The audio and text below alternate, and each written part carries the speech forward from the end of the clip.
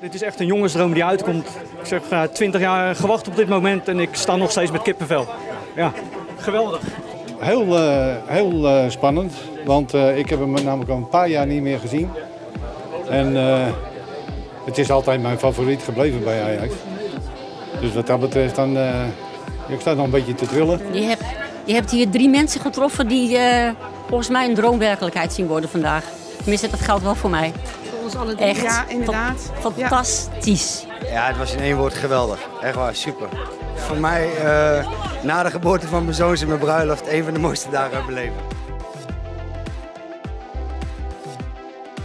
Wat ik zo fijn aan voetbal vind, is dat je iemand hebt om voor naar het stadion te komen.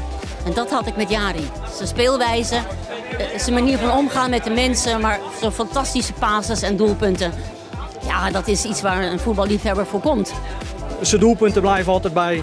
Maar ook gewoon echt uh, de beste teamgenoot die je kan hebben denk ik, in een elftal. Uh, iedereen beter, beter maakt.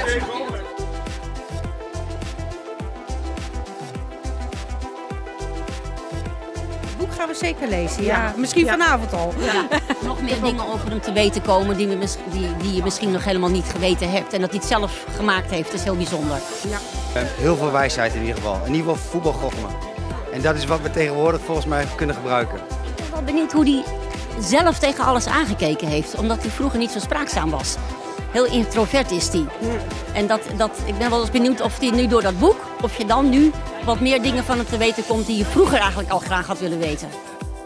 Nu beseffen ze eindelijk uh, um, hoeveel werk dat vraagt totaal om, om topvoetballer te worden. Ja, die ooit nog een keer naar Ajax? Ja, wie weet. Over de toekomst weet ik niet. Uh, nu nu uh, ben ik uh, bezig met, met heden en mijn heden is op dit moment met name Estland en, en, en Finland.